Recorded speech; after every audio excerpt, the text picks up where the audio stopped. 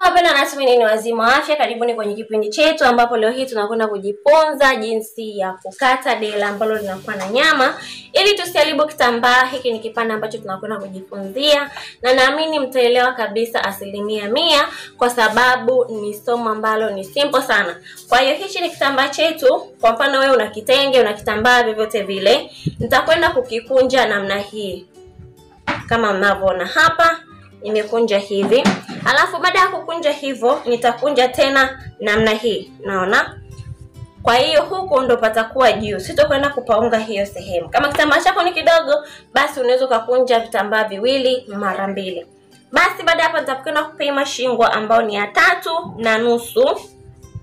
Ikumbukwe hichi kitambaa changu ni kidogo, kwa hiyo nitakuwa nina assume, lakini vipimo nitakuwa na vitamka mnasikia alafu nitashusha nchi moja kwa ajili ya kipande cha nyuma na nitashusha nchi tano kwa ajili ya kipande cha mbele. Halafu nitatengeneza shingo yangu ya V namna hii.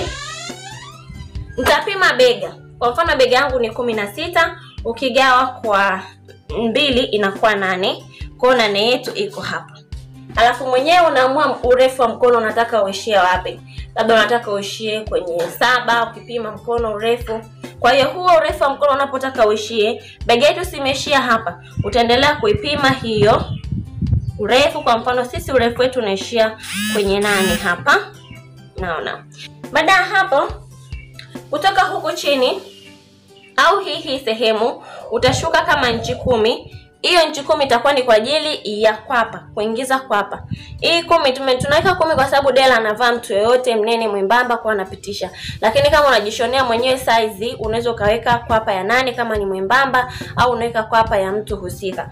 Lakini hapa tutaweka kwa mfano hapa kwenye kumi, naona hii ndio sehemu ambayo itakuwa ni mstari wa kwapa mpaka hapa. Baada ya hapo tutapima upana wa hips. Kwa mfano hips yetu ni arobaini na nne ukigawa kwa nne unapata kumi na moja. Utaongeza na nchi moja kwa sababu dela halitakiwi kubana. Kwa hiyo kwa sisi tutakuwa tuna kumi na mbili. Kumi na mbili iko hapa. Tutapima urefu sasa, tutakwenda kuweka urefu wa stini Tutaongeza na kushonea, itakuwa kwenye stini labda na moja.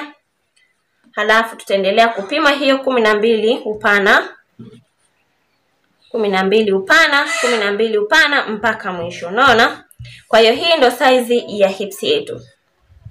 Baada ya hapo tutashuka tuta, tuta sasa kuishia hapa palipoishia nanili, palipoishia mkono wetu. Mkono wetu uko hapa, kwa hiyo tutanyosha mstari ambao utakutana sehemu ya mkono, unaona. Kwa sisi wakati wa kushona tutashona hii sehemu mpaka hapa siku kwenye kushona, huu ndo mstari wa hips.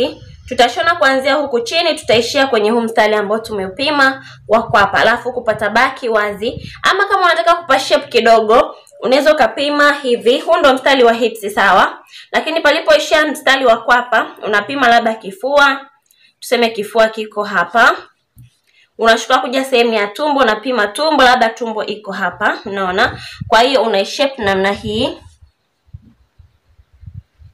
unaishepu namna hii. Kwa hiyo wakati wa kushona utashona hii sehemu, utakuja uishie hapa. Hebu basi tukate tuone kwanza. Tutakata cha nyuma,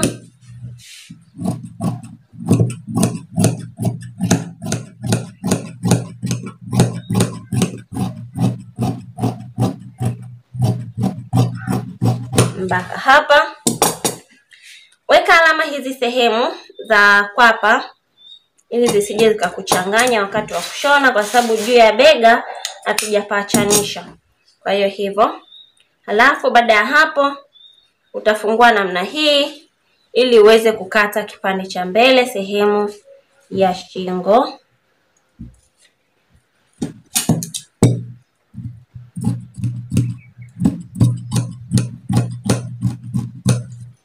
Namna hii. Kwa hiyo ukifungua hivi unatakiwa ushonee kwa nje. Basi huku ndo tume tutakifungua kwa nje, tumekatia huku, tutakifungua kwa nje kitakuwa hivi, kwa sababu tunakwenda kushonea kwa nje. Kwa vile vipimo ambavyo tulivipima huku kwa ndani, unatakiwa virudishe kwa nje ili uweze kuona. Kwa tulipima kifua chetu, tumbo na hips mpaka mwisho, lakini ukiangalia picha yetu ile pale, ile picha tumeshona, tumenyoka tu, yaani ule usawa wa hips tumenyoka nao mpaka chini, lakini hapo unaweza ukaamua kushape kama unataka uiwekee ka shape. Kwa hiyo tutakwenda kushona kuanzia hii point, tutashona mpaka hapa, na huku pia tutashona kuanzia hii point, tutashona mpaka hapa, ama unaweza ukanyooka tu mpaka hii sehemu, ukanyoka mpaka hii sehemu. Okay, wapendwa, mnaweza kuona niliposhona nimepitisha uzi. Uzi unaonekana ulipopita huo wa kijani. Kwa hiyo nimeshona, nimeishia hapa. Unaweza ukaamua ukapitisha hadi huko, vyote sawa. Kwa hiyo mtu akivaa ataingia humo, unaweza kuona ambavyo uja. Kwa hiyo wapendwa, nimemvalisha huyu mdoli ili muweze kupata picha halisi ya somo letu na gauni letu, ingawa vipimo hatujatumia vyake, ndio maana mnaweza kuona kwamba viko vina mkwaya, lakini mmeweza kuona ilivyo. Kwa hiyo huku pembeni utapinda vizuri mpaka mwisho, na huku pembeni utapinda mpaka mwisho. Unaweza kuona hii sehemu ya kwapa palivyo pako namna hii, na huku pia pako namna hii. Kwa hiyo mwenyewe unaweza ukaamua ukapabana hii sehemu ukapabana kukabana mpaka hii sehemu pakakutana hapa na huku pakakutana hapa. Basi somo letu ni simple kiasi hicho. Kama hujaelewa, basi comment hapo chini ili niweze kuipitia comment yako na kuifanyia kazi. Asanteni.